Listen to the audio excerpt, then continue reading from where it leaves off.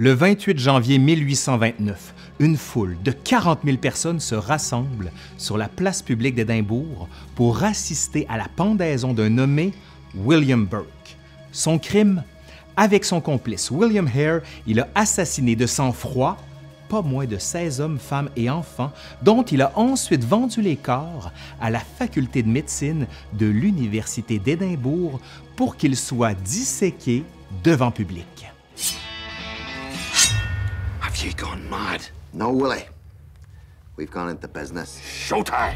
Les meurtres de Burke et Hare semblent à première vue anecdotiques. Ils s'inscrivent pourtant dans la continuité d'un phénomène qui a fait rage dans l'Europe du 19e siècle, le body snatching qui consiste à déterrer des cadavres fraîchement inhumés pour ensuite les vendre aux écoles de médecine. L'étude du body snatching et des meurtres anatomiques commis par Burke et Hare révèle ainsi beaucoup de choses sur l'enseignement des sciences, sur le rôle de l'État dans la gestion des corps et même sur les rapports de classe. Allez, aujourd'hui, à l'Histoire nous le dira, on jette la lumière sur la pratique du body snatching et sur les meurtres sordides de Burke et Hare.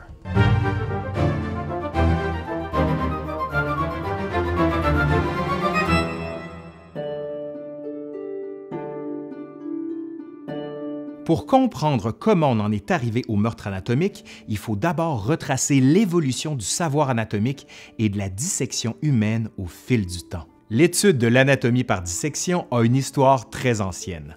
On sait qu'elle est déjà pratiquée dans l'Égypte des pharaons, puis dans la Grèce antique, où elle atteint son apogée avec Hippocrate au 4e et 5e siècle avant notre ère. Dans la foulée des travaux hippocratiques, l'anatomie continue d'être une discipline importante à Alexandrie durant le règne de Ptolémée, mais elle s'essouffle à partir du deuxième siècle avant notre ère.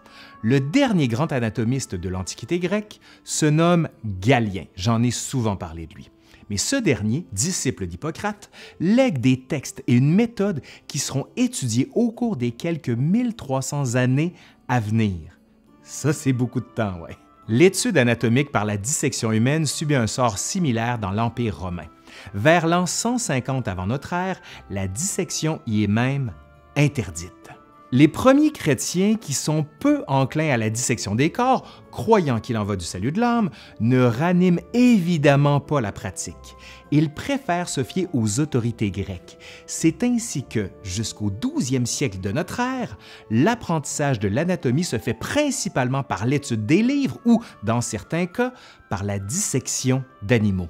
Les choses commencent à changer avec l'apparition des premières universités en Italie dans le contexte de ce que plusieurs historiens appellent la Renaissance du 12e siècle.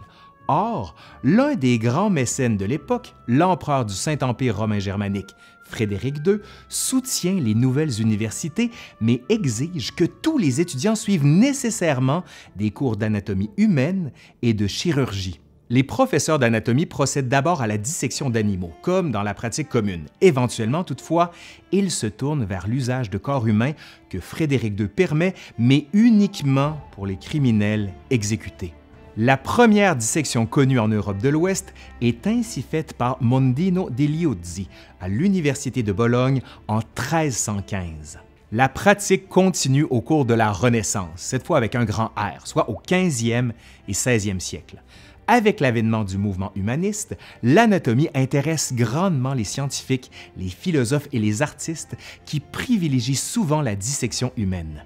Léonard de Vinci aurait ainsi disséqué environ 30 corps avant d'être forcé d'arrêter par une interdiction papale. Plus importants encore sont les travaux du Belge André Vézal, qui s'appuie sur une série de dissections humaines pour réfuter les dogmes galéniques. C'est vraiment grâce à Vézal en fait que l'anatomie devient une véritable discipline scientifique qui se répand à travers l'Europe. Vous irez voir, j'ai fait une vidéo complète sur le sujet. Le mouvement anatomique qui prend ainsi de l'ampleur au 17e et 18e siècle dans la foulée du rejet des autorités et de l'approche expérimentale, caractéristique de la révolution scientifique et surtout des Lumières.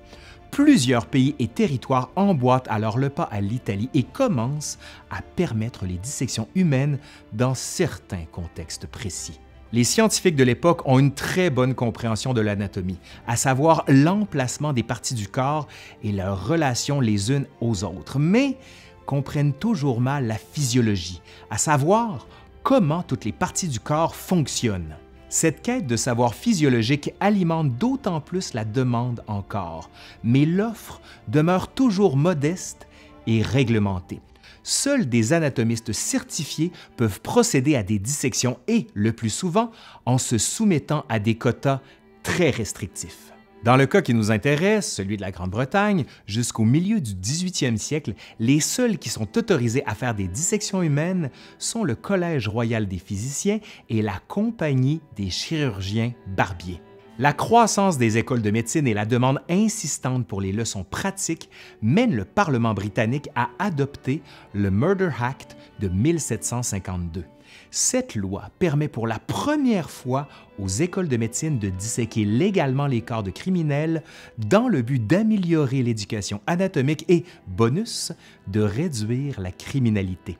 À l'époque, en effet, personne ne donne volontairement son corps à la science. Finir sur une table de dissection, c'est se couvrir d'opprobre en plus de compromettre son âme. La nouvelle législation assure donc au milieu du 18e siècle un certain approvisionnement encore, mais les nouvelles mesures ne satisfont pas à la demande toujours croissante. C'est dans ce contexte et sur fond d'expansion impériale et industrielle que l'esprit entrepreneurial et capitaliste britannique inspire l'émergence d'un nouveau type de traite. La pratique de ce que les contemporains nomment body snatching, grave digging ou encore résurrectionnisme se développe donc pour répondre à la demande croissante en cadavres. Le body snatching consiste à infiltrer un cimetière en douce pour y dérober un corps fraîchement inhumé que l'on vend ensuite à une école de médecine, le plus souvent à prix d'or. Un cadavre en bon état peut, en effet, aller chercher jusqu'à 10 livres sterling au tournant du 19e siècle, soit l'équivalent de plusieurs mois de salaire pour un travailleur qualifié. Le body snatching représente donc une réelle opportunité d'affaires pour quiconque est enclin à franchir les lois pour s'enrichir. Il faut aussi savoir que selon la loi en vigueur, le fait de dérober un corps mort n'est pas une offense en soi, puisque les cadavres n'appartiennent à personne. Les body snatchers s'exposent tout au plus, dans certains cas, à des accusations mineures d'intrusion par effraction. À la fin du 18e et au début du 19e siècle, le body snatching se répand donc à travers la Grande-Bretagne comme une traînée de poudre. Certains des trousseurs de tombes développent par ailleurs toute une expertise.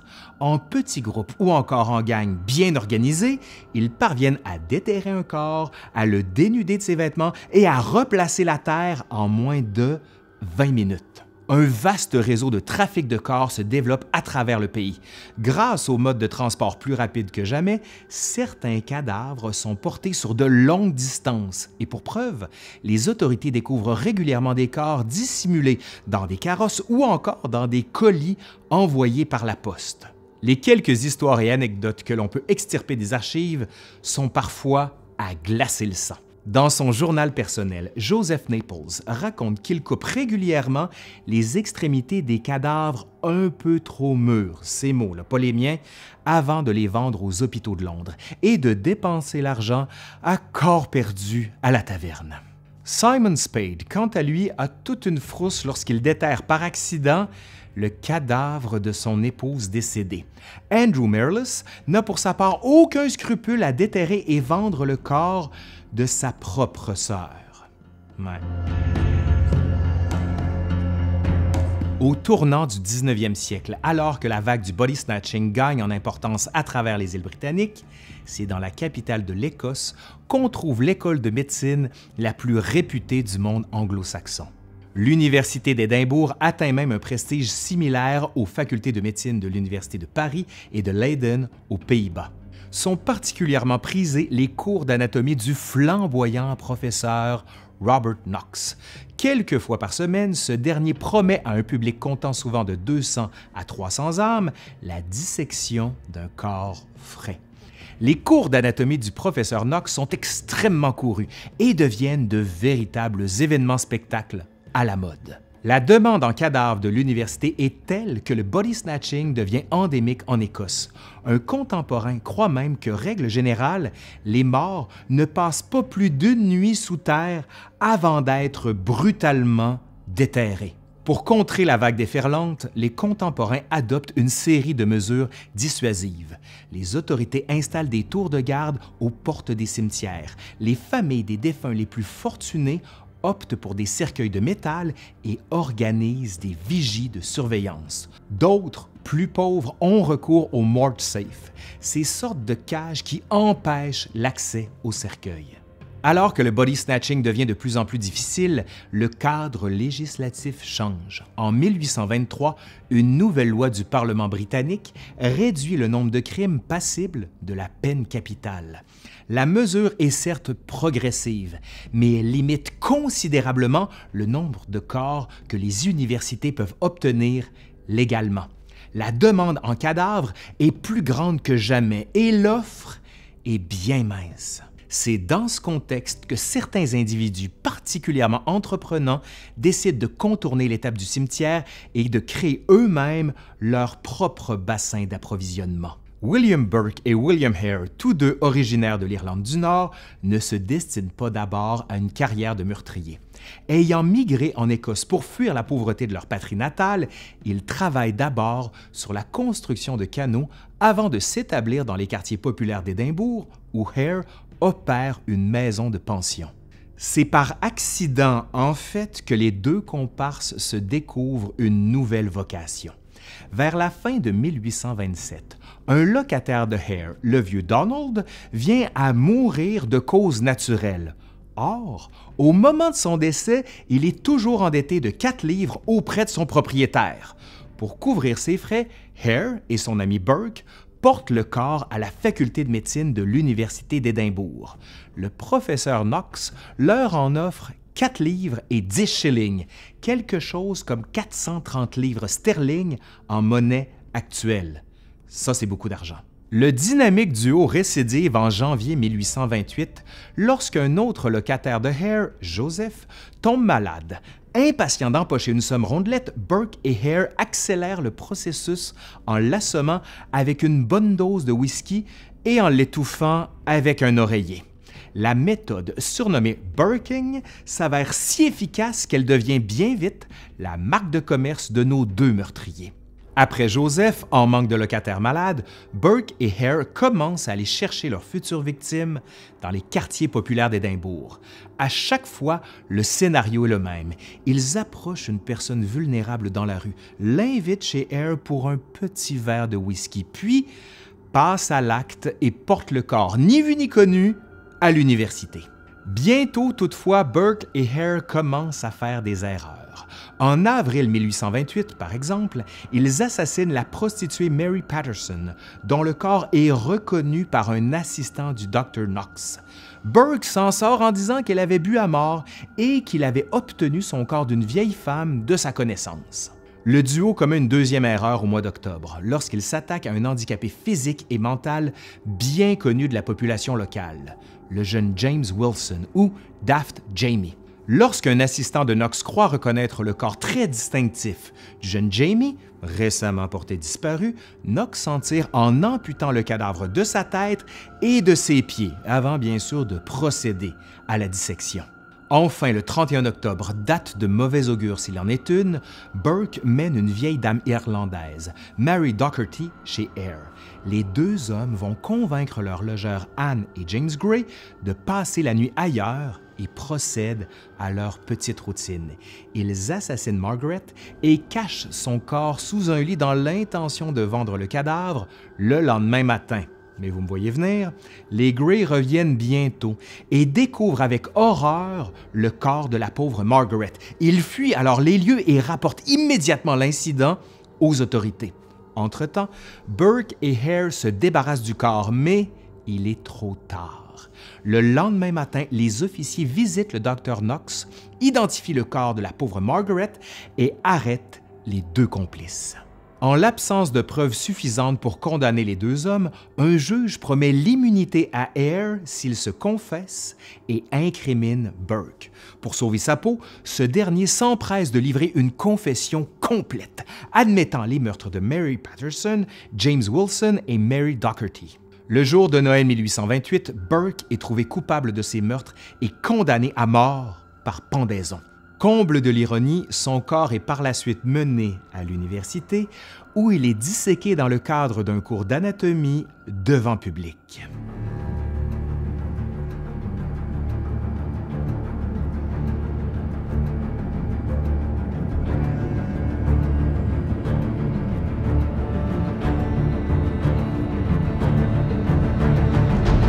Force est d'admettre d'ailleurs que les étudiants écossais du début du 19e siècle ont un sens de l'humour un peu tordu. Certains parviennent à subtiliser des morceaux de la peau de Burke et s'en façonnent un livre de contes ou encore un porte-monnaie.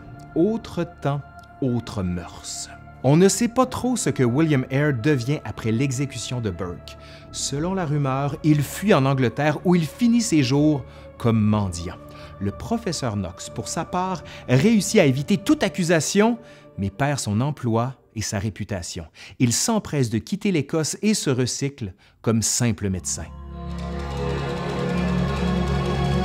L'histoire ne s'arrête pas là. Les meurtres de Burke et Eyre sont tellement publicisés avec éclat que les deux hommes gagnent des admirateurs en plus du body snatching endémique, il provoque une nouvelle vague de meurtres anatomiques à Londres en 1831. Avant que les choses ne dégénèrent, le Parlement intervient. L'Anatomy Act de 1832 stipule qu'une personne ou une entité ayant légalement la possession d'un corps peut permettre son utilisation à des fins scientifiques. En pratique, la mesure permet aux facultés de médecine de s'approvisionner directement et en toute légalité dans les morgues des prisons et des poorhouses opérés par l'État. La loi rend ainsi futile l'existence des résurrectionnistes et met fin une bonne fois pour toutes au body snatching. Évidemment, la situation n'est pas universellement applaudie. Les réformateurs sociaux dénoncent le caractère immoral de la nouvelle loi qui transforme des institutions dites de charité en usines à cadavres et qui affecte de façon complètement disproportionnée les groupes les plus vulnérables. Par ailleurs, il faut bien souligner que les nouvelles lois britanniques ne mettent pas fin au body snatching partout. Vers le milieu du 19e siècle, en effet, les résurrectionnistes sont toujours bien actifs à l'extérieur des îles britanniques et notamment en Amérique du Nord. Au moment des meurtres de Burke et Hare, l'Université McGill à Montréal a déjà une faculté de médecine prestigieuse et très gourmande en cadavres. Se développe alors une forme bien particulière de body snatching chez les étudiants de McGill, avec certaines distinctions entre les étudiants francophones et anglophones, qui ne se livrent pas à la pratique pour les mêmes raisons ou encore de la même façon. Les sources suggèrent en effet que les étudiants francophones, généralement plus pauvres que leurs collègues anglophones, ont parfois recours au body snatching pour pouvoir payer leurs droits de scolarité. Les étudiants anglophones, de leur côté, s'y livrent plutôt comme une forme de jeu initiatique des mesures législatives sont bientôt adoptées pour freiner le phénomène dès les années 1840, mais elles n'obtiennent qu'un succès mitigé. Des épisodes de body snatching se multiplient donc jusqu'aux années 1880 la véritable fin survient lorsque les étudiants de McGill franchissent une ligne. Ils rapportent à l'université les corps de deux religieuses catholiques inhumées dans un cimetière de la Chine. Cet acte soulève l'opinion publique et mène à un renforcement des lois et à la fin définitive du body snatching au pays. Comme au Royaume-Uni, toutefois, les nouvelles lois ne sont pas sans soulever des questions morales et éthiques les corps qui seront disséqués à l'avenir seront principalement ceux des indigents, des infirmes et des immigrés sans le sou. Si les meurtres de Burke et Hare, dérives sanglantes du body snatching, nous apprennent quelque chose, c'est bien que le progrès, et notamment le progrès médical et scientifique, n'est jamais gratuit. Il vient toujours à un certain prix et parfois à un prix très sombre. Ces meurtres illustrent par ailleurs les disparités et les conflits de classe qui font rage au 19e siècle. Heureusement, les choses ont bien changé de nos jours et il est commun de donner volontairement son corps à la science, que l'on soit pauvre ou nanti. Allez, c'est fini pour aujourd'hui. Merci à Catherine Tourangeau qui a participé à cette vidéo. Si ça vous a plu, ben dites-le faites un pouce par en l'air, commentez, partagez. Vous ne savez pas à quel point c'est important pour essayer de comprendre l'algorithme de YouTube et essayer de monter, parce que je ne sais pas comment ça fonctionne. Bref, si vous le savez, dites-le moi. Allez, je suis Laurent Turcot de l'Histoire nous le dira et je vous dis à la prochaine. Allez, bye.